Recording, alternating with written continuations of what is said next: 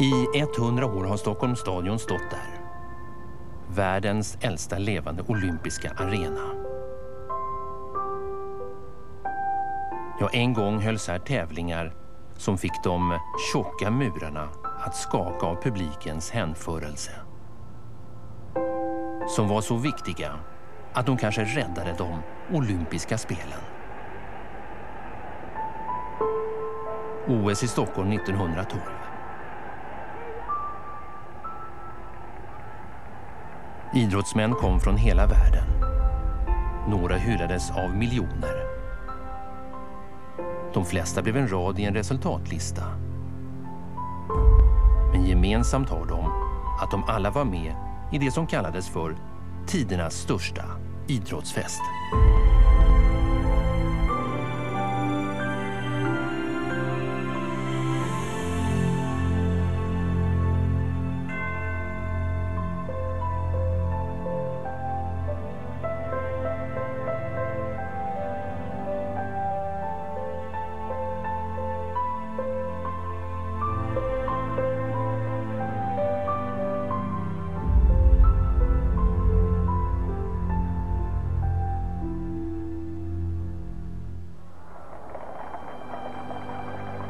Bilderna är 100 år gamla. Ögonblick av en sommar i den olympiska rörelsens barndom. För första gången är det möjligt att göra en film med dokumentära bilder om ett OS ett sekel tillbaka i tiden.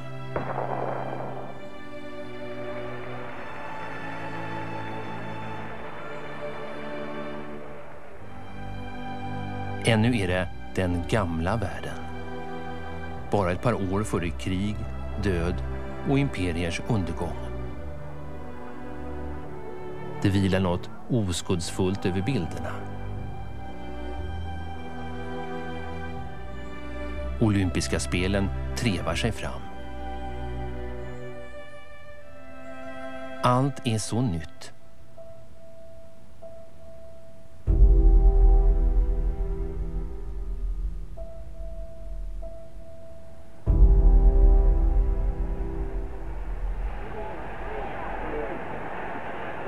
Hel del är förstås annorlunda mot idag.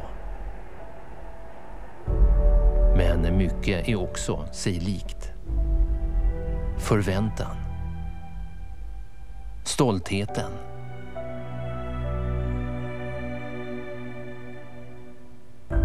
Glädjen. Och här finns den fattiga Stockholmsflickan med den bestämda minen som utmanar sin tid. Hon blir Sveriges första kvinnliga guldmedaljör i OS och försvinner sen för alltid från sitt hemland. Hon som är så bortglömd i sitt hemland. Vi får resa långt och leta länge för att hitta spåren efter henne. I mer än 60 år bodde hon i trakten av San Francisco. När hon var gammal skrev hon ett brev om resan som hon gjort.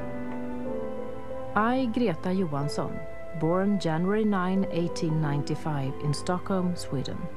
I learned to swim and dive at Stockholm's municipal baths during the summers from 1902 to 1912. In 1912, I won the gold medal at the fifth Olympic Games in Stockholm, Sweden. I was decorated by King Gustav, for which I'm very proud.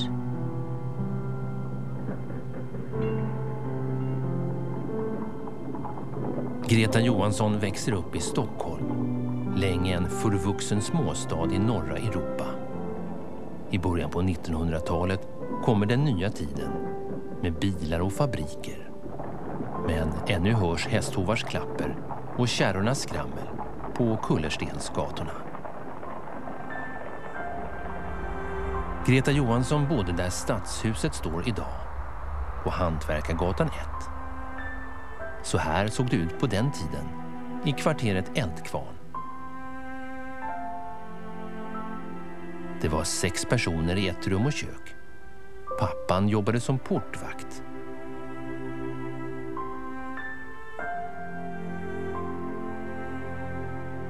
Greta Johansson gick sju år här i Klara folkskola där alla elever är högtidligt uppställda inför kameran.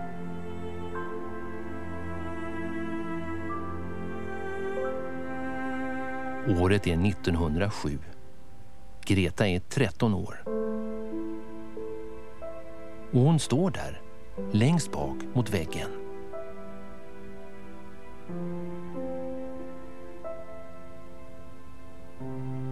Hon utmärker sig genom att vara en av få elever i Stockholm som läser ett års engelska. Hon drömmer om att bli något annat än piga eller jobba i fabrik. Vägen till ett annat liv går genom idrotten.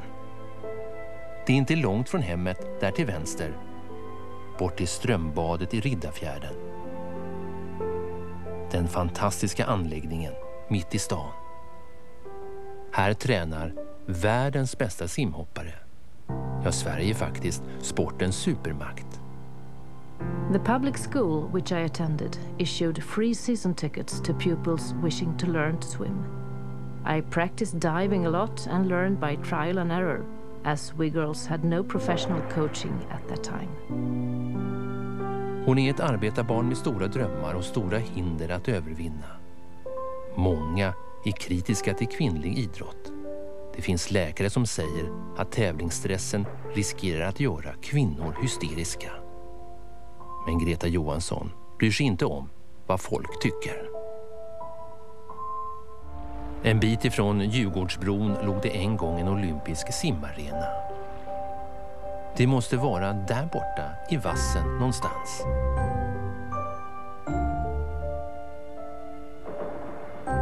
Här har vi dem, pionjärerna i simhopp. Det är första gången som kvinnor får ställa upp i simning och simhopp i OS. Men om de svenska arrangörerna fått som de önskat skulle ingen av dessa tjejer varit med. Från svensk sida ville man inte ha ett kvinnligt deltagande.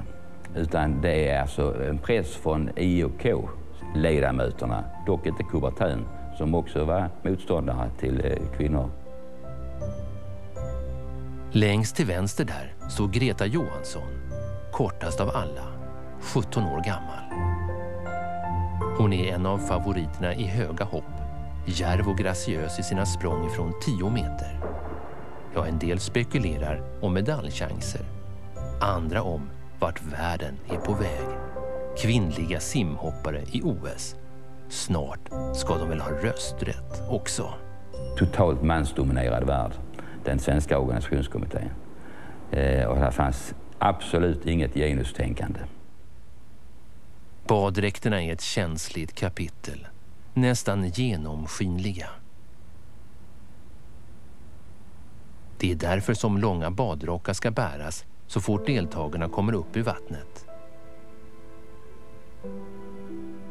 Många finner det chockerande att halvnakna kvinnor visas upp på det här sättet. Men Greta Johansson har annat att tänka på.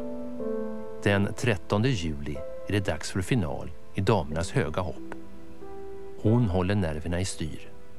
Stockholmsflickans luftfärder ner mot Djurgårdsbrunnsvikens mörka vatten utmärks av en överlägsen elegans. Hon blir Sveriges första kvinnliga olympiska guldmedaljör. Den första kvinnan i historien att vinna ett guld i höga hopp i OS. Aldrig förr har en svensk idrottstjej fått så stor uppmärksamhet i pressen. Det är också nu som hon träffar mannen som ändrar hennes liv, som hon kommer att gifta sig med. Han är svensk och heter Ernst Brandsten, simhoppare, tränare och äventyrare. Brandsten bor sedan länge utanför San Francisco där han riskerar livet som uppvisningshoppare. I en intervju berättar den 29-årige svensken att han inför väldiga åskådarmassor i USA hoppar från broar och kranar. Att rekordet är ett hopp ifrån 35 meter. Han tjänar stora pengar i strid mot amatörreglerna. Men sånt talas det tyst om redan nu. Brandsten har åkt till Stockholm för att vinna. Han segrar i SM där världens bästa hoppare är med men blir bara sjua i OS och reser hem till USA. Istället är det Loppan Adlers till vänster som tar två guld. Greta Johansson skriver. I really didn't compete after 1912. In the summer of 1913 I taught swimming and diving in a small town in southern Sweden. I was later declared a professional. Hon står där till vänster som i en tavla. Men hon är på väg. Hon kliver ur ramen och försvinner från stan och landet där hon skrev olympisk historia. Den 30 maj 1914, några månader innan första världskriget, lämnar Greta Johansson Sverige för gott. Hon har sagt upp sig från sitt sista arbete som kontorsbiträde på tidningen Såningsmannen.